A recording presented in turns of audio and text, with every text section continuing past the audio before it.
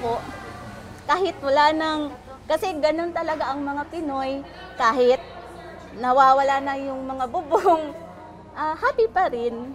Importante kasi yung, ano, yung kahit walang-wala ka, at least sa iyong self, alam mo na andito yung pamilya mo, kasama mo.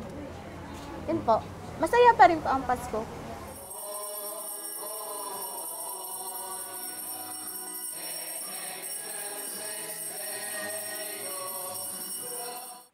Sad. Sad talaga, sir. Dahil hindi ang hindi yun noon na maka ng Pasko namin noon ma, kasama namin lahat kapatid ko tapos may kunting handa kami na salo-salo mga kapatid namin tapos may paputok pa ngayon nako ang hirap talaga sir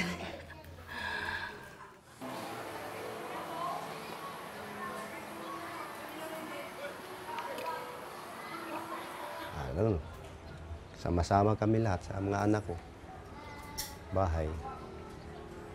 Masaya nga. Ngayon, wala na. Wala mangyari na. Sabi ko, Wala na bahay. wala na bahay.